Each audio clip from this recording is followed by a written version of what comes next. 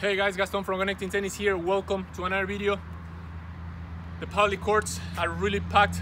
Still clubs closed, so it was pretty tough to get, but I didn't want to let that stop me to make this footwork video and show you this routine. We're gonna we're gonna work in one specific thing of the footwork, and this thing is what the lateral. I took the time in this um, quarantine, okay, to watch some matches of the pro players and see one of the things that I could prepare for you guys to, you know, in the footwork part without any court, that we could work and focus, and that's gonna be the lateral movement, the lateral speed, and the power to recover after you make a shot.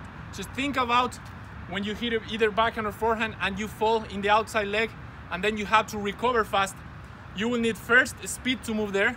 Second, you will need balance when you fall. And third, you will need power in the outside leg to recover. So this routine is gonna focus on those three, okay? The speed to move there, the balance when you fall, you're gonna see it in the exercises, and the power to recover, which is really important enough. If not, you're gonna give advantage to your opponent if you don't recover fast to the middle and then of course going to the airball. So you're gonna see this routine here. There are two extra exercises out of the five, just a little warm up. You're really gonna feel the butt after the workout. I just did it and I feel it and your quads also. So please guys, comment, leave me your comments as you always do. You can see that I give my time to, to interact with you guys. Share this video with your friends. It's really, really important. It doesn't matter your level, you have to focus and you have to be strong, quick, and powerful in that lateral recovery. Thank you guys for watching and I will see you in the next one.